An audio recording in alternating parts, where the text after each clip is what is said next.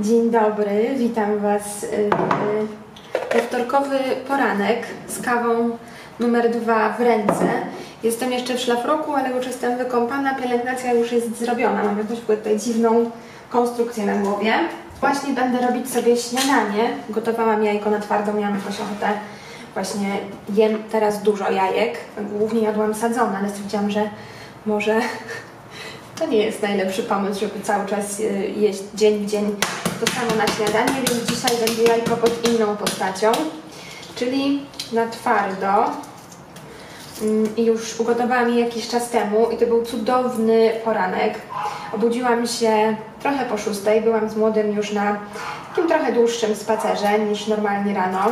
Później wróciłam do mieszkania, zrobiłam sobie kawę i zaczęłam czytać książkę, a w zasadzie skończyłam czytać książkę, która mnie bardzo wciągnęła.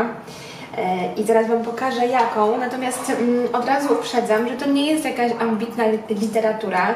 To jest taka książka trochę z mm, cyklu i z gatunku lekkie, łatwe i przyjemne romansidło. Taka, wiecie, współczesna wersja bajki o Kopciuszku w wersji dla dorosłych, ale nie dla dorosłych, bo jest jakaś tam, nie wiem, obsceniczna czy mm, nie wiem, erotyczna. Absolutnie nie, tylko po prostu mówi o ludziach dorosłych i nie o księżniczkach, tylko o realnych e, wydarzeniach. E, I tak, skończyłam ją czytać, Wam pokażę, która to była. Pan zły numer. Więc jeśli szukacie, lubicie takie książki, szukacie czegoś, nie wiem, na wakacje, o, Leon już tam piszczy, bo tutaj widzi, że coś robię, to bardzo Wam ją polecam. Przyjemnie się ją czytało. Muszę sprawdzić jakieś inne również książki tej autorki, bo bardzo przyjemnie mi się tą książkę czytało i jakby i historia, ale też sposób, e, w jaki ona była napisana. I teraz e, następna w kolejce będzie ta książka. Ja ją Wam pokazywałam też w jakimś tutaj filmie, że miałam zamiar ją zacząć czytać, ale finalnie zmieniłam kolejność, także teraz e, będzie to ta. Pieczywo, mam tu gdzieś chleb. Dobra, ja sobie robię kanapki z jajkiem, kawę dopijam, muszę się jeszcze wysmarować balsamem i powoli e, przyspieszyć trochę ruchów, bo robi się późno, ja się muszę zaraz zbierać. Witam Was w piątkowe popołudnie. Śmieszna dzisiaj jest pogoda, bo jest w ogóle w końcu bardziej czym oddychać. Jeszcze padał deszcz, ale teraz wychodzi lekko słońce i robi się bardzo przyjemnie. Mam tutaj małego Leosia przytulonego, Wam go może pokażę. Znając życie, jak ja się ruszę, to on wstanie. Leon jest po fryzjerze i jest małym łysolkiem. Taka. Moja mała słodycz. Tak? Śpiący. Leon jest śpiący, wczoraj był u fryzjera, miał dzień pełen wrażeń, później był ze mną w pracy, wiecie, dużo się działo, więc teraz sobie y, tutaj odpoczywa. E, Przychodzę w zasadzie tak do Was tutaj sobie chwilę pogadać, w, szcz- w szczególności, i pokazać Wam kilka rzeczy, przeciąg jest. E, I zamykają mi się tu co, chwi- co chwilę drzwi, mam nadzieję, że zaraz się uspokoi. E, I pokazać Wam w sumie kilka takich rzeczy, które się u mnie tutaj nowe pojawiły. Będą i kosmetyki, i książki. Boże, mam nadzieję, że te drzwi teraz nie walną z impetem tutaj. Jest taka sytuacja trochę patowa. Powinnam wstać i coś, któreś zamknąć, w sypialni może lepiej, ale nie chcę się ruszać, bo tutaj królewicz się już bardzo słodko położył. No dobra, może jakoś damy radę. Zacznijmy może od kosmetyków, ponieważ e, ku... No, może być to zdziwieniem dla kilku osób, na pewno jest to zdziwieniem i pewnym zaskoczeniem dla mnie, dlatego że e, jak nagrywałam jakieś filmy, w których pokazywałam Wam swoje kosmetyki kolorowe, wszystkie, które mam, e, to zresztą jedna z Was zauważyła, że gdzie są produkty do ust. I ja faktycznie tych produktów do ust wcześniej miałam bardzo, bardzo mało, praktycznie nie miałam ich wcale. E, Jakoś nigdy nie byłam jakąś wielką zwolenniczką szminek, błyszczyków i tego typu produktów. E, Nie dlatego, że mi się nie podoba, Miałam kiedyś jakieś czerwone szminki, miałam taką mocną fuksjową, ale nie wiem, ja się w takich intensywnych kolorach chyba za bardzo nie lubię e, i gdzieś cały czas z tyłu głowy miałam to, że to nie wiem, czy się nie pomazałam, tym nie rozmazałam, nie zeszło, e, czy nie mam tego na zębach, jakoś tak się czułam niezbyt komfortowo. E, I dlatego zaczęłam mówić, że ku mojemu zdziwieniu, bo ostatnio mam fazę na produkty do ust i nie miałam jeszcze przed chwilą żadnego, a teraz co chwilę kupuję jakieś szminki. E, I to nie są e, zakupy, że tak powiem, naraz, nie kupiłam tych rzeczy. Miałam do wykorzystania mm, kartę w Notino, dlatego że reklamowałam jakiś produkt i zaznaczyłam, że jakby chcę e, zwrot na kartę taką wewnętrzną do nich. Dlatego miałam jakąś tam pulę też do wydania i może zacznijmy od tego, dlatego że zamówiłam w końcu, właśnie na Notino zamawiałam te rzeczy, E, zamówiłam w końcu błyszczyki z Diora, o których bardzo dużo słyszałam dobrego. E, I mamy jeden, bardzo ładne są te, czekajcie, tu jest jeszcze słoiczek, bardzo ładne są te opakowania. Ten ma taki dosyć ciemny tutaj kolor w mm, opakowaniu, e, ale na ustach naprawdę wydaje mi się, że ładnie się prezentuje. Ja go teraz nie mam, mam inną szminkę którą pewnie już trochę zjadłam. E, natomiast na pewno będziecie mogły mnie w najbliższym czasie zobaczyć często, mając e, ten produkt. E, to jest numer 012, 12, przepraszam, nie 20. I to jest błyszczyk, który trochę nam te usta tak jakby powiększa. W sensie on ma ten mentol w sobie, ma taki specyficzny zapach i smak, ale nie jest niedobry jakby jest dodatek tam czegoś też takiego trochę słodszego, przez co wydaje mi się, że jest bardziej jakby dla mnie znośny. Mam taki jeden błyszczyk z Eveline, który jest za mocny dla mnie i nie lubię, nie lubię go i nie używam. E, natomiast e, tak, ten bardzo lubię, mam go w torebce tak wrzucony. Aplikator też jest całkiem wygodny, jest dosyć mały, ale precyzyjnie, ładnie nakłada się nim na usta produkt, więc to jest Pierwszy ładny daje efekt. E, jestem z tego zakupu bardzo zadowolona. E, I razem z nim kupiłam też mm, drugą rzecz i to jest Lip Glow e, w numerze 011 Rose Gold.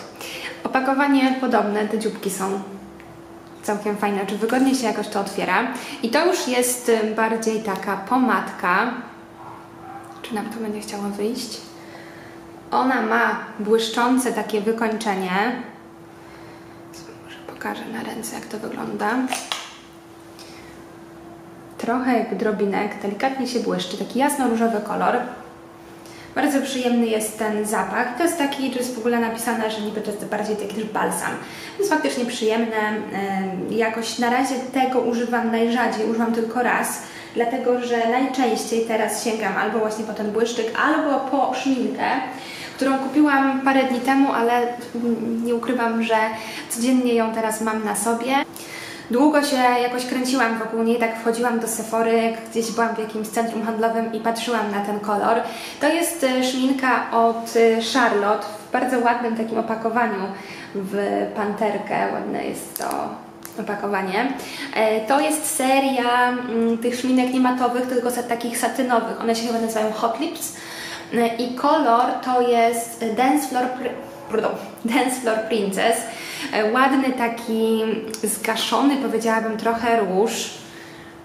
Mam go teraz na ustach. Pokazuję jak on wygląda i to jest tutaj ten, ten obok. Bardzo, bardzo mi się podoba i on jest tak, ona jest tak komfortowa na ustach mm, i to jest mój zdecydowanie w tej chwili numer jeden. Uważam, że jest przepiękny ten kolor. E, jeszcze no, w ogóle lubię róż. Y, mam ostatnio w ogóle fazę na różowy kolor jeszcze bardziej niż kiedyś. E, ale tak, uważam, że te kolory, wszystkie trzy są po prostu piękne i świetne są te produkty. I jak zamawiałam na Notino te błyszczy, ten błyszczyk i ten, tą pomadkę, to zamówiłam też jeszcze krem mm, z firmy Cetaphil. Tam patrzę, bo tam leży jeszcze na stole. Ten, który bardzo często Wam tu pokazywałam i po raz kolejny, ale po bardzo długiej przerwie, zamówiłam z doktora Jarta e, krem, który mnie po prostu ponownie na nowo zachwycił. Taki zielony słoiczek, to jest strasznie małe jak widzicie, one normalnie są też większej pojemności, bo tu mamy chyba 15 ml, 15 ml. To jest krem, którego ja kiedyś używałam. Wiem, że dziewczyny też czasami używają go jako bazy, powiedzmy bardziej pod makijaż. Natomiast on mi całkowicie w tej chwili zastąpił, mm, w ogóle nie korzystam z podkładów teraz. Teraz na twarzy też go mam. Daje piękny, naturalny efekt. To jest krem, który ma niezbyt zachęcający kolor. Zapach, właśnie włożyłam w to nos, czy mi się wydaje? Zapach też ma specyficzny. Taka zielono, szaro, trochę taka papka tutaj w środku. Właśnie ten kolor jest niezbyt specjalny. Ale ten krem się bardzo ładnie dostosowuje do Waszej skóry. On jakby koryguje koloryt, nie dając takiego efektu jednak jak podkład. Bardzo mi się ten e, krem podoba i na pewno jak go zużyję, to kupię sobie większe opakowanie, e, bo tak jak mówię, no mam go kilka dni, może 4 dni Sięgam po niego codziennie i na takie upalne dni to mi się sprawdza świetnie. Więc y, taki mały tutaj kosmetyczny haul. Zamówiłam sobie jeszcze dwie książki nowe, które wczoraj e, odebrałam. Pierwsza z nich to jest Lepiej niż w filmach i to jest książka autorstwa mm, tej samej pisarki, co książka, o której Wam wspominałam wcześniej w tym vlogu, czyli Pan Zły Numer. Mówiłam, że będę chciała sobie zamówić kolejną jej książkę, no i stanęło na niej. Czy wychowanej na komediach romantycznych dziewczynie uda się odejść od scenariusza, który zawsze miała w głowie? No, pewnie znowu lekka, łatwa i przyjemna. Trochę mam wrażenie, że jest jakbyś lekko dla nastolatków, no ale nie nie sprawdziłam tego wcześniej, nic mi się nie stanie, najwyżej przy, przy, przeczytam książkę dla nastolatków. No i druga książka, której grubość mnie trochę zaskoczyła bo jest to, nie ukrywam, cegła. Ja nie jestem fanką takich mm, grubych książek za bardzo, dlatego że rzadko kiedy jakby treść mnie jest w stanie na tyle pochłonąć i wciągnąć, żeby taka książka, która ma aż tyle stron, była dla mnie po prostu atrakcyjna. Krótsze trochę formy mi się jakoś łatwiej i przyjemniej czyta, e, bo jestem w stanie się bardziej wciągnąć, a w takie długie mam wrażenie, że często ta treść jest taka bardzo przeciągnięta i bardzo dużo rzeczy jest zbędnych. Natomiast tą autorkę to jest Kamila Lackberg, znam, czytałam kilka jej książek. Tutaj mamy miks, bo jest ona i jakiś Henrik, jakiś, nie wiem. Książka nazywa się Mentalista. Mm, aby powstrzymać szaleństwo, musi je zrozumieć. Pierwsza część nowej serii kryminalnej, najciekawsza szwedzka pisarka kryminałów i czołowy mentalista to duet doskonały. Ta ekscytująca powieść przeniesie cię, w, cię do ponurego świata iluzji i tajemniczych zabójstw. W centrum Sztokholmu zostaje znaleziona skrzynia ze zwłokami młodej kobiety przebitej mieczami. Policja staje, staje wobec pytania, czy ma do czynienia z nieudaną sztuczką magiczną, czy z brutalnym morderstwem. No i tam inspektor, która prowadzi śledztwo, zwraca się z prośbą o pomoc do Vincenta Waldera, mentalisty, eksperta odmowy ciała i świata iluzji. Szybko ustalają, że ta sprawa jest podobna do wcześniejszej zbrodni, wtedy staje się jasne, że ścigają bezwzględnego seryjnego mordercę. Muszą go powstrzymać, zanim ofiar będzie więcej.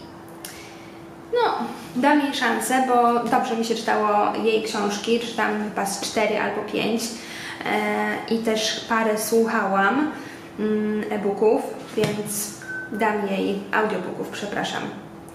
E, więc e, tak, dam, dam jej szansę, ale no, na razie będę czytać to, co Wam wspominałam. A co będzie następne, to zobaczymy. Pomyślałam, że pokażę Wam w tym vlogu też moje mieszkanie, jak ono w tej chwili wygląda.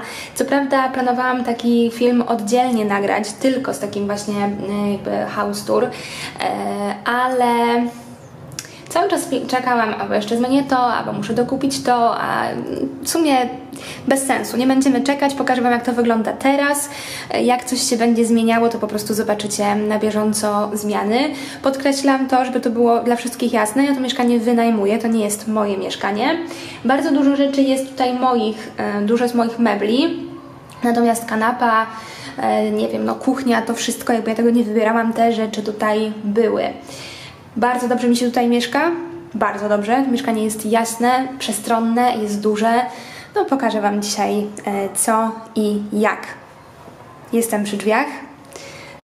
Pierwsze co widzimy po wejściu do mieszkania, strasznie mnie wkurzają te kable tutaj takie, y, jakieś zgromadzenie się zrobiło, ale i lampa, no i ten wentylator tutaj stoi, bo jeszcze niedawno go używałam siedząc na kanapie, ale tak chodzę z nim po mieszkaniu. Natomiast tak, to jest ta główna część mieszkania, czyli salon z aneksem kuchennym. E, tak jak wspominałam, mieszkanie jest wynajęte kanapa była, stolik, krzesła również. Tu dużo jest akcentów, które są moje, e, natomiast taka baza e, tutaj w tym mieszkaniu była. Jest aneks kuchenny. E, wydaje mi się, że w tamtym mieszkaniu miałam trochę więcej blatu, wydaje mi się, wiem, że tam było trochę więcej blatu, dlatego że jeszcze był tutaj taki fragment mm, blatu kuchennego, natomiast mieszczę się, jest mi tutaj wygodnie, jest tutaj ukryta lodówka, jest całkiem sporo miejsca do przechowywania dzięki temu, że mamy wysokie tutaj te szafki do samej góry zabudowane półeczkami, także wszystko mi się tutaj pomieściło. Stół kuchenny, no jak widzicie miejsca jest naprawdę naprawdę dużo. E, można tutaj spokojnie, Leon tutaj szaleje z jakimiś miśkami, piłkami i tego typu rzeczami. E, te sprzęty kuchenne są moje. Tutaj sobie zawsze robię rano kawę. Na górze mam kubki, szklanki, więc tutaj wygodnie jest, e, łatwy jest dostęp do tego. Także tak wygląda jeszcze raz tutaj z tej perspektywy E, salon z kuchnią. Bardzo to jest wygodne, że, że tak nie wiem, dobrze się w tym miejscu po prostu czuję, dobrze mi się tutaj funkcjonuje. E, tutaj mamy wejście statyw, bo miałam najpierw zamiar to nagrywać używając statywu. Tutaj normalnie nie stoi. Koło wejścia duża szafa, e, więc w ogóle mam tutaj dużo miejsca do przechowywania, także wszystkie moje szpargały mogę pochować. Tutaj jest łazienka no, łazienka jak łazienka, toaleta, wanna. O, tutaj też jest taki lustro jak w tamtym mieszkaniu. E, I mamy jedną sypialnię, tak zwany powiedzmy pokój gościnny. Jest łóżko, jakby ktoś mnie odwiedził. E, to ma miejsce wygodne, żeby spać. Tutaj jak nie ma warunków, to też suszy się pranie, jest znowu e, kolejna szafa, biurko, tu jakieś widzicie leżą rzeczy do wyprasowania. nie, do wyprasowania rzeczy i pełno miśków Leona i torba do zabrania do auta. No ale jest biurko, ja z niego nie korzystałam, szczerze powiedziawszy, ale jeśli będę miała taką potrzebę, no to jest biurko i krzesło. Mm, takie biurowe tutaj też spokojnie, wiecie, nie muszę już takich rzeczy upychać gdzieś po kątach. E, tego miejsca jest zdecydowanie więcej. No i tak wygląda e, tutaj ta część. No i teraz wracamy i mamy drugą część mieszkania. To jest jakaś moja ławka, którą, którą pokazywałam Wam we vlogu, jak ją jechałam odebrać i jak się mordowałam, żeby ją włożyć do samochodu. E, tutaj mamy toaletę i to jest łazienka, która jest większa, e, natomiast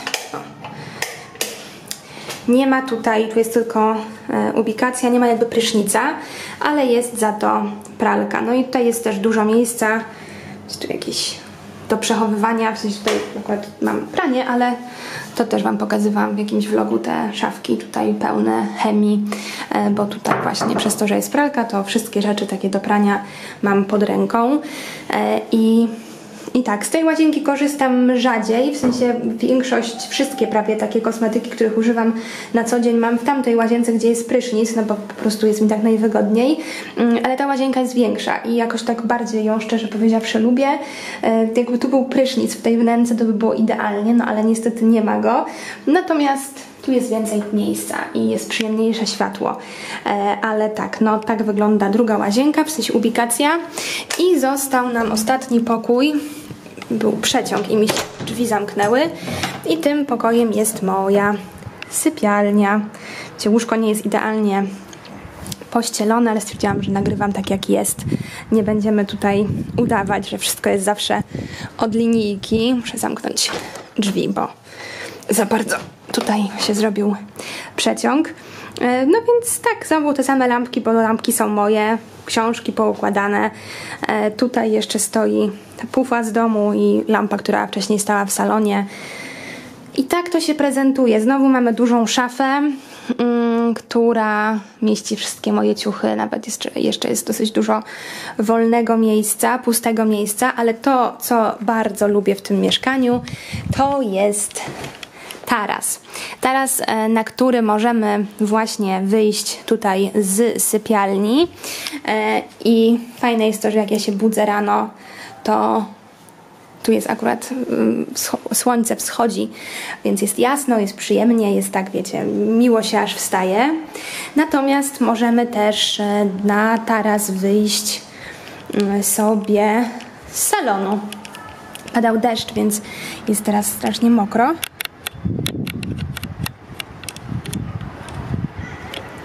I ten taras już gdzieś w jakimś filmie fragmenty było widać. Mm, tak? Też przyszedłeś pokazać? To taras, ty lubisz na tarasie teraz siedzieć. Tam jeszcze się pranie suszy, ale nie wiem, czy z tego wyjdzie, bo właśnie spadł, złapał je deszcz. No, teraz Wam częściowo pokazałam, tu się za bardzo nic nie zmieniło. Muszę te rośliny w końcu ogarnąć, ale jakoś nie było teraz na to za bardzo czasu i przestrzeni. No i tak to się prezentuje. Mieszkanie z tarasem.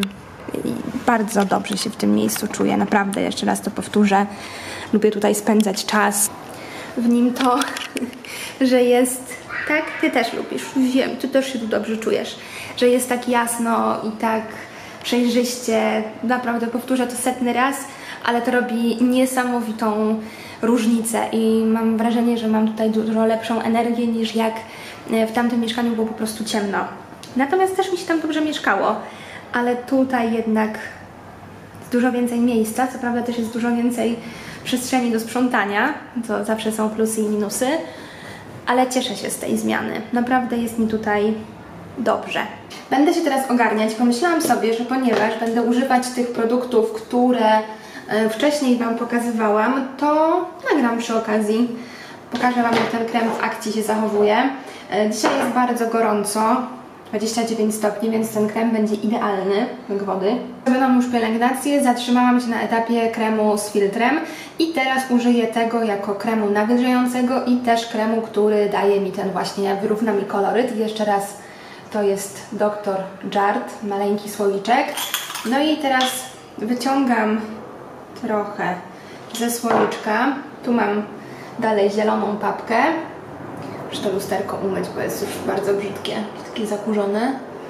I zaraz zobaczycie, że jak ja to zacznę rozsmarowywać palcami, to on się wtopi w moją skórę.